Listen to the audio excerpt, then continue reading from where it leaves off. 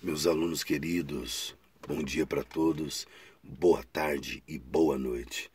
É, para aqueles que podem estudar na parte da manhã, tarde ou noite, enfim. Hoje nós começaremos mais uma eletivas de música, a importância da música. Estamos falando, já falamos no, no vídeo passado que a música, que, que o nosso projeto, a nossa, a nossa perspectiva para essa, para essa eletiva não é obrigatoriamente transformar vocês em tocadores, né? Mas fazer com que todos é, conheçam e se interessem por essa, por essa pedagogia. A música ela tem uma dinâmica, ela tem um, uma impulsão natural dela que é interessante. Ou seja, é a impulsão da educação. A música é por meio da música também que se educa. A música também ela traz educação, ela traz pedagogia, instrução, entendimento, postura, ética, atitude, comportamento. É, ela dá vislumbres de uma vida, de uma vida, de uma vida boa, ou melhor, de uma vida que não faz mal ao próximo. Muitas pessoas escaparam de uma vida de crime, de violência urbana, de agressões, de guerra, por conta da música. Se eu disser que a música não é importante para a humanidade e para a nossa sociedade, eu estarei sendo, estarei sendo um, é, um, uma pessoa desonesta com a informação, né?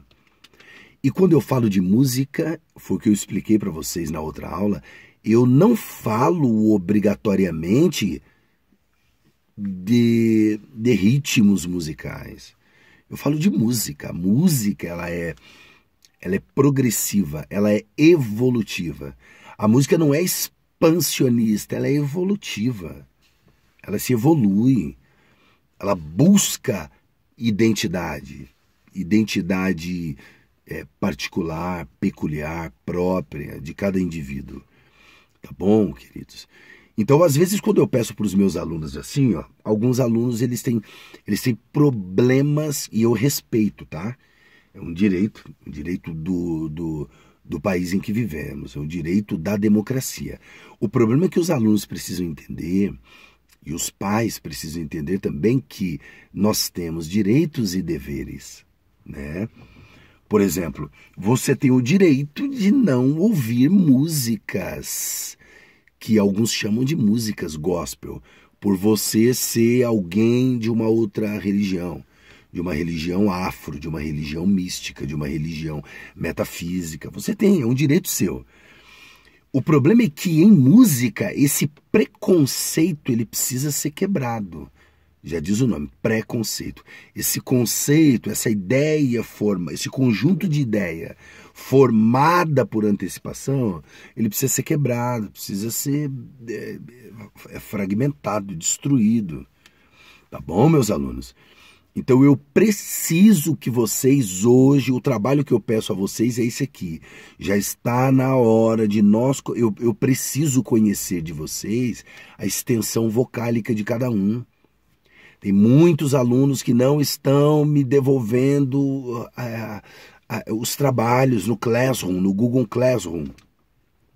Se você não tem internet, você não tem acesso, faz assim, ó, vai na escola aonde você estuda as minhas eletivas, ou no Maurício Alves Braz, ou no Filomena Enares Milano, ou no Village, Residencial Village, chega lá, conversa com, com a coordenadora, ou com o coordenador, ou com o diretor, ou com a diretora, e, e, e pede para eles imprimirem os trabalhos do professor para passar para vocês. Mas vocês precisam fazer os trabalhos, porque senão vai, vai, vai influenciar diretamente no próximo, nas notas do próximo bimestre.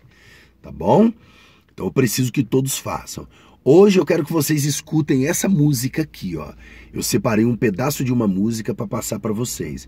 Vocês vão escutá-la, escu é, é, ouçam a potência e a extensão vocálica de um cantor chamado Leonardo Gonçalves. Foi o que eu disse. A música quebra preconceitos, independente da religião, tá? Você pode até não ser um evangélico, você pode ser um católico, um espírita, um candomblessista, o que quer que seja. Mas em uma escola você é um aluno. Então você precisa ouvir, às vezes também, o que você não gosta de ouvir.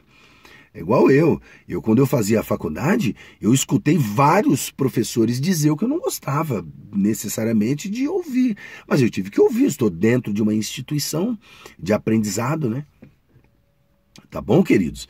Então, independente de religião, escute essa música, observe a voz do cantor, tá bom?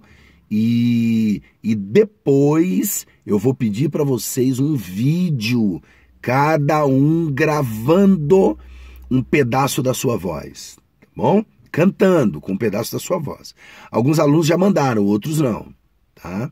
E eu preciso disso, tá bom? Eu vou deixar meu WhatsApp lá no Classroom para quem tiver dúvida entre em contato comigo. Mas ouve essa música aqui, tá bom?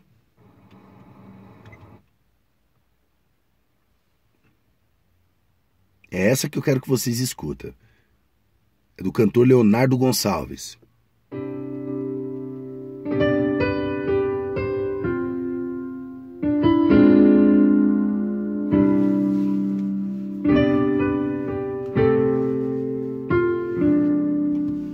Observe como ele começa. No Getsemane foi que meu Jesus orou, se entregando ao Pai mais uma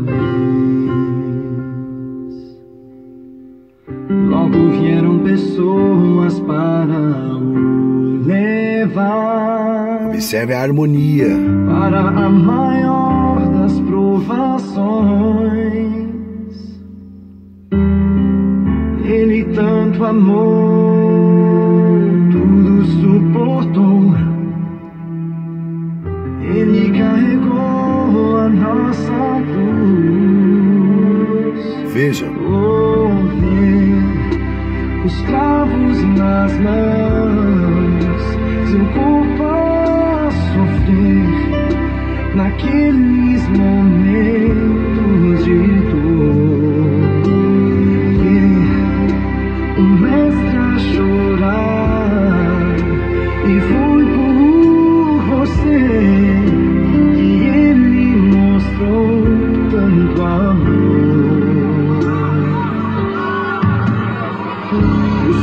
soldados cuspiam no seu rosto nu. Posso ouvir o clamor da multidão. E Jesus a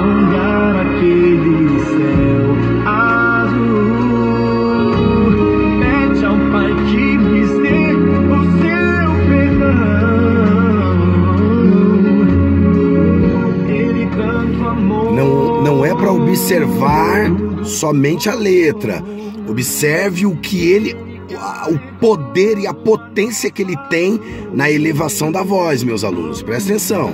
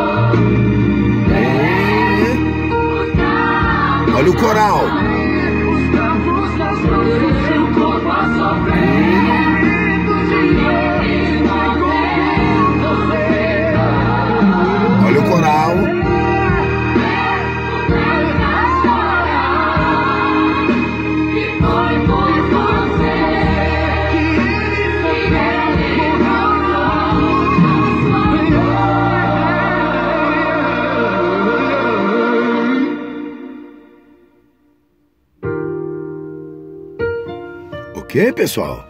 É isso que eu quero, tá? O nome dessa música é Jets ou Getsemane ou Getsemane de ou do Leonardo Gonçalves, tá bom? Eu quero que todos vocês escutem, façam, tentem fazer igual. Tem que tentar. Tenta, se esforce, grava um vídeo. Não precisa gravar vídeo longo, não. Grava vídeo curto, pequeno. Pequenininho, 30 segundos, 20 segundos. Desde que vocês gravem, tá bom? E, e, e vamos, e vamos, e vamos avante. Vamos para cima que vai dar tudo certo. Tá bom, meus amigos, meus queridos alunos? Fiquem com Deus, uma ótima tarde a todos, um ótimo dia, uma ótima noite e vamos continuar, vamos continuar nos cuidando, tá bom? Tchau para todos, tchau.